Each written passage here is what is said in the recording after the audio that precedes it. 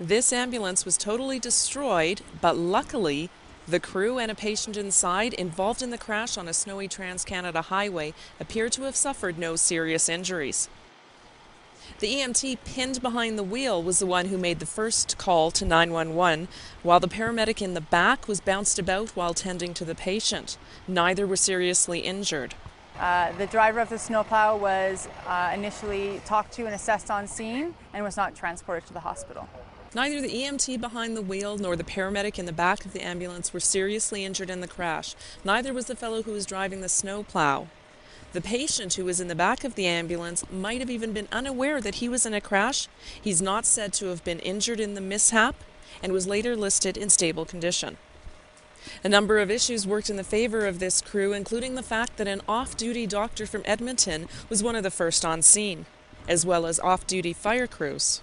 Yeah, when, when our crews turned up on scene, they had already um, attended to the EMS and the patient that was already in the back of the unit they had got them out and they were already giving care when we arrived. It is believed that wintry conditions and possibly poor visibility led to this crash.